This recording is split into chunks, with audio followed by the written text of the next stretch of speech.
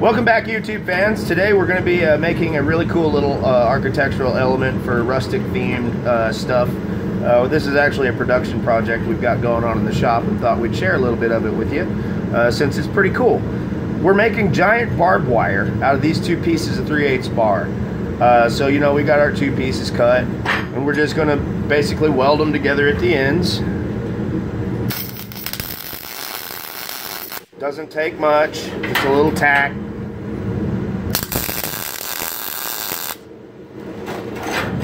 Kind of welds itself to the table once in a while. We don't need that. Get out of here. Okay. Now you just throw them in the forge and get them hot.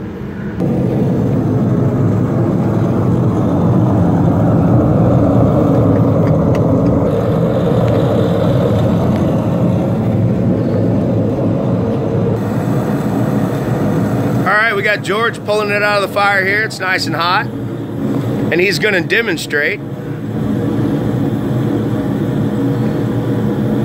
the safe way to do it. Keep your arms and things back. Try not to let any of that scale fall on you.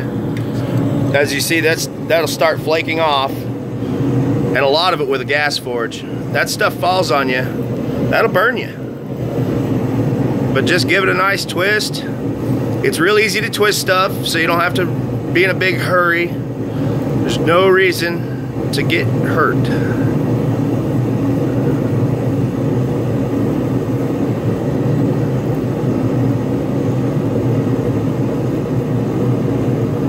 That's about perfect. Yeah.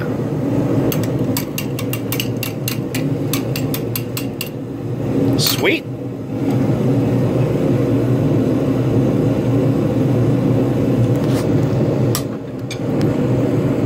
Right, well, we've got our pieces of barbed wire twisted up. This is two pieces of 3 8 bar. We tack welded them together on the ends and we twisted them. These are a little longer. These are the, actually the pieces on our project that are going to get the barb. Uh, those other That other piece was just some little short pieces we needed for uh, strength.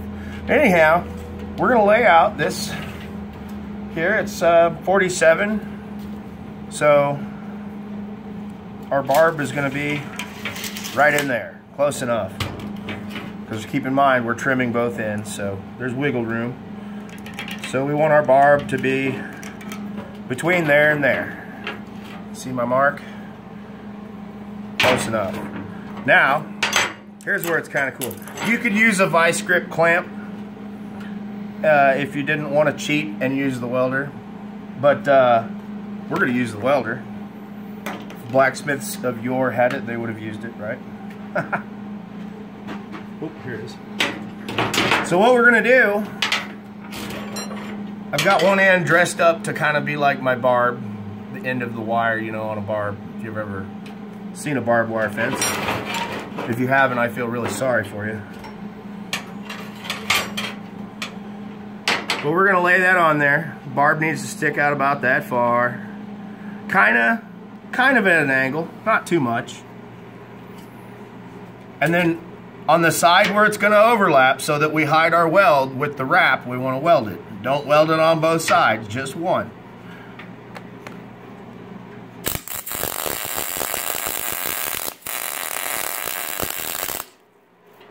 Flip it here.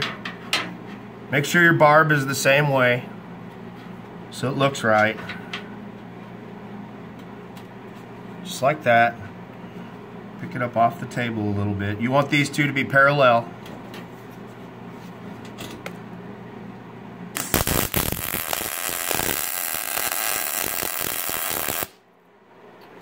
Okay, now we've got them both tacked on there fairly well. Now we're going to take it back to the vise and uh, we're going to get the torch and we're going to wrap them.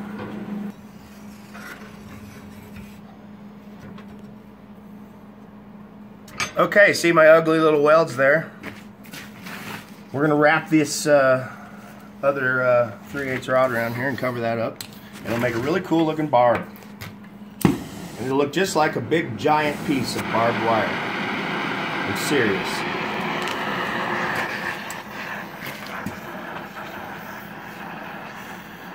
You don't want to get your weld too hot but you want to get as close to it as you can. And once you're come on around a little ways, it won't matter. So just come right in there. Keep advancing your heat. We want to make sure we come on this side and we want to cover that weld up. So we want that bar to lay in there right next to the other one. Now, we're going to heat that one right here before we go too far with our other one. And we're going to bring it around. And cover up our other weld on the other side with the other bar.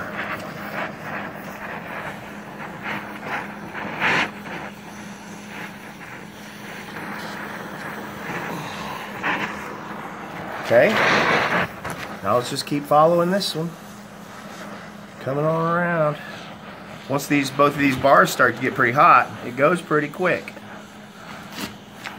So just keep advancing your heat. And I always like these a little long, so I've got a place to grab onto them at the tip where it's cool.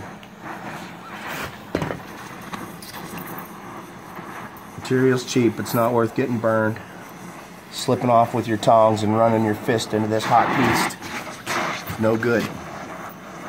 Well, why don't you wear gloves? Because I slip and burn myself through gloves way more often than if I've actually got my hand on the piece.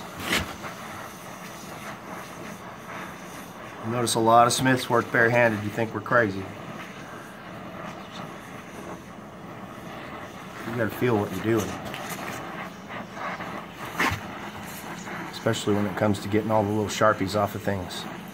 For your customers, you'd want it to cut you, not your customer. So you got to run your bare hands over everything. Make sure you get it smooth. All right, here we go. Now when you finish this up, got four laps, and you want to make these parallel. So, or a little, a little open, little, little, not quite parallel, but close. And there it is. Let me pick that up out of there and show it to you. there is a barb wrapped around that. Isn't that cool? So simple, so easy, and so cool. Is it perfect? No. Doesn't matter though, it's cool. It's made by hand, it's not supposed to be perfect you want it perfect, have a machine spit it out, and then it's no longer art. Let's get these cut off, and I'll show you what they look like. Actually, let's let's just walk over the piece. You know, you just cut these off and uh, grind them up the way we did that there. Let's walk over and look at the project. Show you where we're putting it. That'll stay safe. All right, so here it is installed on the project. It's a mess over here in the painting area. Sorry about that. We've been peeling decals. But anyways, yeah, isn't that cool? And it's on this piece of railing. Get the horse medallion in the middle. And it comes on around. Really cool way to add some really cool decorative elements for a western themed this is an equestrian themed project we're doing for uh, really one of my favorite clients. I'm not going to disclose her name unless it's cool. But yeah. Thanks for coming with me. I hope you guys found that interesting.